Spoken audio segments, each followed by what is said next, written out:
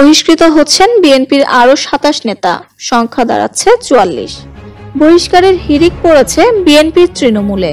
দলীয় শৃঙ্খলা ভঙ্গের অভিযোগে দুই দিনে সতেরো নেতাকে বহিষ্কারের পর এবার বহিষ্কার হচ্ছেন আরও সাতাশ নেতা। রাজনৈতিক বিশ্লেষকরা বলছেন, উপজেলা নির্বাচনকে ঘিরে বিএনপিতে যে সংখ্যক নেতাদের বহিষ্কার করা হচ্ছে, তা বিএনপির সাংগঠনিক রাজনীতিকে ধুলোয় মিশিয়ে দিতে পারে। সূত্র বলছে, গত ২৬ ও আটাশ ফেব্রুয়ারি পাবনা, সুনামগঞ্জ, পঞ্চগড় ও পিরোজপুরের মোট সতেরো নেতাকে বহিষ্কার করে কেন্দ্রীয় বিএনপি।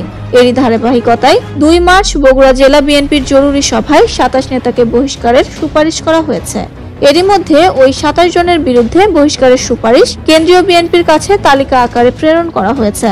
অভিযোগের প্রেক্ষিতে যারা বহিষ্কার হচ্ছেন তারা হলেন সারিয়াকান্দির মাসুদুর রহমান হিরু মণ্ডল, শিবগঞ্জ উপজেলার বিউটি বেগম, নন্দীগ্রামের এস এম আব্দুর রাফি পান্না, ধুনটের আলিউদ্দিন হারুন মণ্ডল ও আক্তার আলম, শাহজাহানপুরের আবুল বাসার এবং গাবতলীর একিউএম ডিসেন্ট আহমেদ।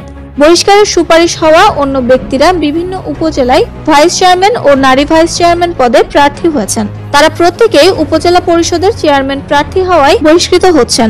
বগুড়া জেলা বিএনপির সভাপতি সাইফুল ইসলাম বলেন, দলীয় শৃঙ্খলা ভঙ্গের দায়ে উপজেলা নির্বাচনে মনোনয়নপত্র দাখিলকারী সাতাশ নেতাকে বহিষ্কারের সুপারিশ করা হয়েছে।